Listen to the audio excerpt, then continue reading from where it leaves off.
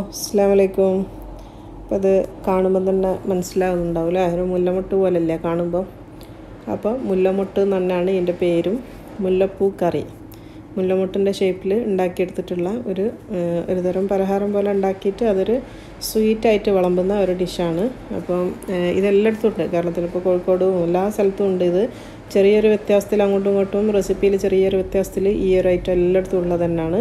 അപ്പോൾ ഞങ്ങളെ നാട്ടിൽ ഇതെങ്ങനെ ഉണ്ടാക്കുക എന്നുള്ളത് ഒന്ന് കാണിക്കാം. ഇതൊരു റിക്വസ്റ്റഡ് വീഡിയോ കൂടിയാണ്. കുറച്ച് ലേറ്റായി പോയി എന്നാലും നമുക്ക് നോക്കാം എങ്ങനെ ഉണ്ടാക്കുക എന്നുള്ളത്.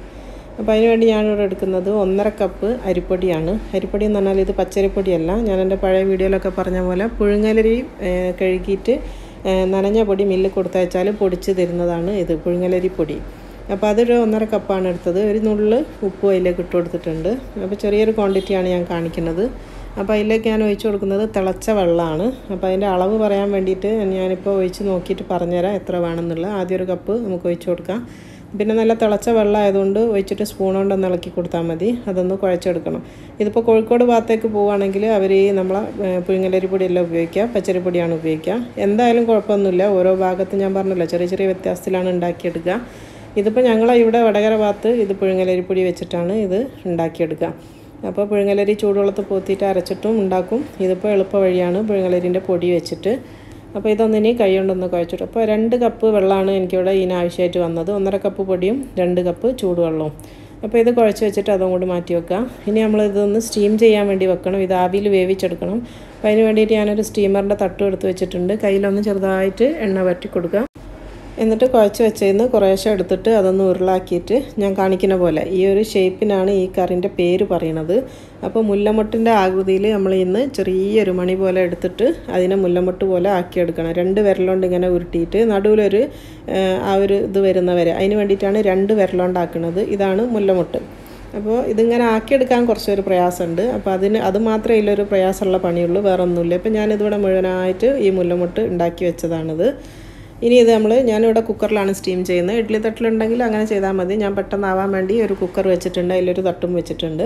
ഇനി ഇത് വേറൊരു തട്ടും കൂടെ വെച്ചിട്ട് അതിന്റെ മേലെയാണ് ഞാൻ ഈ മുല്ലമുട്ട് വെച്ച് കൊടുക്കുന്നത്. ഒരു പത്ത് മിനിറ്റ് നേരം കുക്കറിൽ വെച്ചാൽ പെട്ടെന്ന് തന്നെ ആയിക്കിട്ടും ഇപ്പോൾ ഞാനിത് ഇറക്കി കൊടുക്കുകയാണ്. ഇത് ഇനി ഇവിടെ കിടന്ന് ഒന്ന് ആവട്ടെ. നമുക്ക് മൂടി വെച്ച് കൊടുക്കാം. ഒരു പത്ത് പതിനഞ്ച് മിനിറ്റ് മാക്സിമം അപ്പോഴത്തേക്ക് നമുക്ക് റെഡി ആയി കിട്ടും. പത്ത് മിനിറ്റ് തന്നെ മതി കുക്കറാണല്ലോ. അപ്പോൾ അതവിടെ ആവുന്നുണ്ട്. ഇനി നമുക്ക് അടുത്തത് വേണ്ടത് നമ്മുടെ കയമ അരിയാണിത്. നമ്മൾ നെയ്ച്ചോറ് ബിരിയാണിയൊക്കെ ഉണ്ടാക്കുന്ന കയമ അരി. അതൊരു അരക്കപ്പാണ് ഞാൻ എടുത്തത്. അരക്കപ്പ് അരി ഒരു അര അരമണിക്കൂർ നമുക്കൊന്ന് വെള്ളത്തിൽ സാധാ പച്ചവെള്ളത്തിലൊന്ന് പുതിർത്തി വെച്ചതാണ്. ഇതൊന്ന് അരച്ചെടുക്കണം. അപ്പോൾ ഈ അരിന്റെ അളവ് എന്ന് പറയുന്നത് എത്രത്തോളം പായസം നമുക്ക് കട്ടി വേണം എന്നുള്ളത് നോക്കിയിട്ടാണ് അരിന്റെ അളവ് കൂട്ടുക. ഞങ്ങളിവിടെ നല്ല കട്ടിയിലാണ് ഇത് ഉണ്ടാക്കുക. അതുകൊണ്ടാണ് ഞാൻ അര ഗ്ലാസ് എടുത്തത്. അപ്പോൾ നിങ്ങൾക്ക് അര ഗ്ലാസ് വേണ്ടാന്നുണ്ടെങ്കിൽ കാൽ ഗ്ലാസ് വെച്ചിട്ട് കൊടുക്കാം. പായസത്തിന്റെ ചെറിയ കട്ടി നോക്കിയിട്ടാണ് ഇതിന്റെ അളവ് തീരുമാനിക്കുക. ഇപ്പോൾ ഇത് ഞാൻ മിക്സിയിൽ നല്ലോണം ഒന്ന് അരച്ചെടുത്തിട്ടുണ്ട്. അപ്പോൾ നല്ല മഷി പോലെ അരച്ചെടുത്തിട്ട് ഇതൊന്ന് അരിപ്പ വെച്ചിട്ട് നല്ലോണം ഒന്ന് അരിച്ചെടുക്കണം. അപ്പോൾ അരിച്ചെടുത്തിട്ട് ഇതിൽ വരുന്ന ചണ്ടി പിന്നെ മിക്സിയിലേക്ക് എണ്ണിട്ടിട്ട് കുറച്ചും കൂടെ വെള്ളം വെച്ചിട്ട് മാറ്റി പിന്നെ ഇത് അരിച്ചെടുക്കുക. അപ്പോൾ ഇത് തീരുന്നത് വരെ നമുക്കിതൊന്ന് നല്ലോണം ഒന്ന് അരച്ചെടുക്കുക. അപ്പോൾ ഞാൻ കഴുകിയിട്ട് നല്ല വെള്ളത്തിലാണ് പുതിർത്തിയത്. അതുകൊണ്ടാണ് ആ വെള്ളം തന്നെ ഉപയോഗിച്ചിട്ട് ഞാനിത് അരച്ചെടുത്തത്. ഇപ്പോൾ ഇതിവിടെ റെഡി ആയിട്ടുണ്ട്. ഞാൻ പറഞ്ഞല്ലോ ഇത് ഓരോരുത്തരുടെ ഇഷ്ടത്തിനനുസരിച്ച് അര ക്ലാസ്സോ കാൽ ക്ലാസ്സോ എങ്ങനെയാണെന്ന് വെച്ചാൽ എടുക്കാം. ഇപ്പോൾ നമ്മളെ പിടി ഇവിടെ റെഡി ആയിട്ടുണ്ട്. മുല്ലമുട്ട് ഇവിടെ വെന്തിട്ടുണ്ട്. ഇപ്പോൾ ഇതിനെ ഇങ്ങോട്ടേക്ക് മാറ്റി. ഇതൊന്ന് തണിയാനായിട്ട് മാറ്റി വെക്കുക. തണിഞ്ഞാലാണ് നമുക്ക് ഇത് ഇതിൽ നിന്ന് ഓരോന്നായിട്ട് സെപ്പറേറ്റ് ചെയ്ത് എടുക്കാൻ പറ്റുക. അപ്പോൾ അത് തണിയാൻ വേണ്ടിയിട്ട് നമുക്ക് അങ്ങോട്ട് മാറ്റി വെക്കാം. ഇനി ഇതിന്റെ ഇതിലേക്ക് ഇടാൻ വേണ്ടിയിട്ട് ഞാൻ മുട്ട നമ്മൾ ഒന്ന് മധുരത്തിൽ ചിക്കി പൊരിച്ചെടുക്കണം. അതിന് വേണ്ടിയിട്ട് ഞാനൊരു മൂന്ന് മുട്ടയാണ് എടുക്കുന്നത്. മൂന്ന് മുട്ട നമുക്ക് പഞ്ചസാര ഇട്ടിട്ട് ഒന്ന് ഇളക്കി കൊടുത്തിട്ട് ഇതൊന്ന് ചിക്കി എടുക്കണം. അതും ഇതിലിടാൻ വേണ്ടിയിട്ടുള്ള ഫില്ലിങ്സൊക്കെ നമ്മൾ ഞാൻ പറഞ്ഞല്ലോ ഓരോരുത്തരുടെ ഭാഗത്തേക്ക് ഓരോരുത്തർ വ്യത്യാസം ഉണ്ടാവും. അപ്പോൾ ഇത് മൂന്ന് ടേബിൾ സ്പൂൺ പഞ്ചസാരയും കൂടി കൂട്ടിയിട്ട് ഇത് നല്ലോണം ഒന്ന് മിക്സ് ചെയ്തെടുക്കാം. അപ്പോൾ ഇതിൽ എന്തൊക്കെ ഫില്ലിങ് ചേർക്കണം എന്നുള്ളത് ഓരോരുത്തർ ഇഷ്ടമാണ്. കടലപ്പരിപ്പ് വേണമെങ്കിൽ അത് ചേർക്കാം. പിന്നെ ഞാനിവിടെ ചേർക്കുന്നത് നേന്ത്രപ്പഴമാണ്. രണ്ട് സാമാന്യം വലിയൊരു രണ്ട് നേന്ത്രപ്പഴം എടുത്തിട്ടുണ്ട്. അതൊന്ന് പൊളിച്ചതിന് ശേഷം നല്ല ഇഷ്ടമുള്ള ഷേപ്പിൽ മുറിച്ചെടുക്കുക. ഞാനിപ്പോൾ സ്ക്വയർ ആയിട്ട് ഇങ്ങനെ ചെറുതായിട്ട് മുറിച്ചെടുത്തിട്ടുണ്ട്. ഇനി നമുക്ക് മുട്ട ഒന്ന് ചിക്കി പൊരിക്കാൻ വേണ്ടി ഒരു പാൻ വെച്ചിട്ടുണ്ട്. അതിലേക്ക് ഒരു സ്പൂൺ എണ്ണ ഒന്ന് വെച്ച് കൊടുക്കുക ഓയിൽ അതും ഇതേപോലെ നെയ്യിലൊക്കെ വേണമെങ്കിൽ നെയ്യിലാക്കി എടുക്കുക പ്രശ്നമൊന്നുമില്ല. കുറച്ച് മതി. അതൊന്ന് ഒട്ടിപ്പിടിക്കാണ്ടിരിക്കാൻ വേണ്ടിയിട്ട് ഒരു സ്പൂൺ എണ്ണ വെച്ചതാണ് അതിലേക്ക് നമ്മൾ പഞ്ചസാരയും മുട്ടയും കൂടി മിക്സ് ചെയ്ത് വെച്ചത് വെച്ച് കൊടുക്കുക. ഇനി ഇത് എല്ലാവർക്കും അറിയുന്ന പോലെ ഇതൊന്ന് ചിക്കി എടുക്കുക. അത്രയേ ഉള്ളൂ. ഒന്ന് നല്ലോണം ഒന്ന് ഇതിന്റെ വെള്ളം വറ്റുന്ന വരെ ഒന്ന് ചിക്കി എടുക്കുക. പിന്നെ ഞാൻ പറഞ്ഞല്ലോ കടൽപ്പരിപ്പ് വേവിച്ചിട്ട് വേണമെങ്കിൽ അതും ഇട്ട് കൊടുക്കുക. ഓരോരുത്തർ ഇഷ്ടം പോലെ. അതെല്ലാം ഇനി ഫുൾ വൈറ്റ് കളറിൽ വേണമെന്നുണ്ടെങ്കിൽ ഇതൊന്നും ചേർക്കാണ്ട് വെറും പിടി മാത്രം ഇട്ടാൽ മതി. ഒരു കുഴപ്പമില്ല. ഇപ്പോൾ ഞാൻ ഈ ചെമ്പിലാണ് ഇപ്പോൾ കറി വെക്കാൻ വേണ്ടി പോണത്. അപ്പോൾ അതിന് വേണ്ടി ഞാൻ രണ്ട് ലിറ്റർ ഇതിന്റെ അളവ് പറയുകയാണെങ്കിൽ ഞാൻ രണ്ട് ലിറ്റർ തേങ്ങാപ്പാൽ ഇവിടെ എടുത്ത് വെച്ചിട്ടുണ്ട്. നല്ല കട്ടിയുള്ള തേങ്ങാപ്പാലാണ്. അപ്പോൾ പച്ച തേങ്ങാപ്പാൽ രണ്ട് ലിറ്റർ.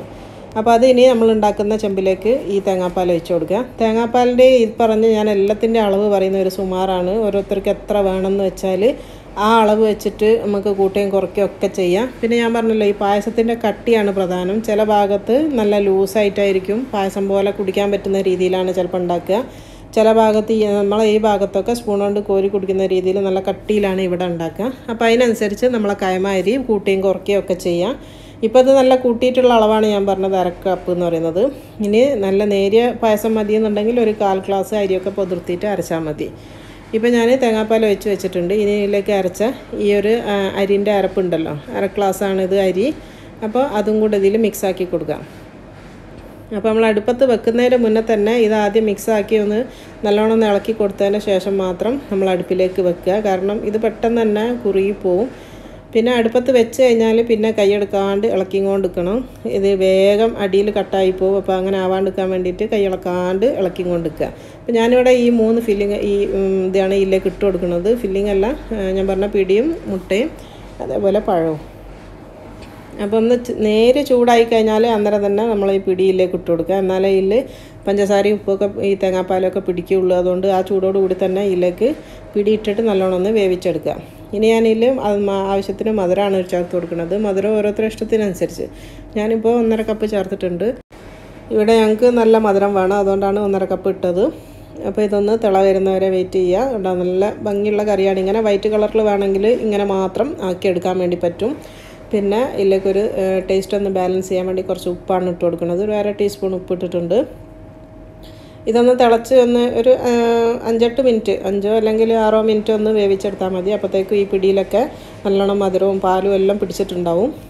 അപ്പോൾ കണ്ടോ എന്തൊരു ഭംഗിയല്ല കാരണം ഈ ഒരു മുല്ലമുട്ടിന്റെ ഷേപ്പിൽ ഇങ്ങനെ ഉരുട്ടിയെടുക്കുന്നതുകൊണ്ടാണ് ഇത് മുല്ലപ്പൂ കറി എന്ന് പറയുന്നത് തന്നെ. പിന്നെ ഇതിന് ഒരു ഫ്ലേവർ കൊടുക്കാൻ വേണ്ടിയിട്ട് ഏലക്കായ് പൊടിച്ചതാണ്. ഒരു ടീസ്പൂൺ ഏലക്കായ് പൊടിച്ചതും കൂടി ഇട്ട് കൊടുത്തിട്ടുണ്ട്. പിന്നെ ചേർക്കേണ്ടത് നമ്മൾ പഴം. നമ്മൾ നേരത്തെ എടുത്ത് വെച്ചിട്ടുള്ള പഴം ഉണ്ടല്ലോ അതിലേക്ക് ഇട്ട് കൊടുക്കുക ഈ സമയത്ത്.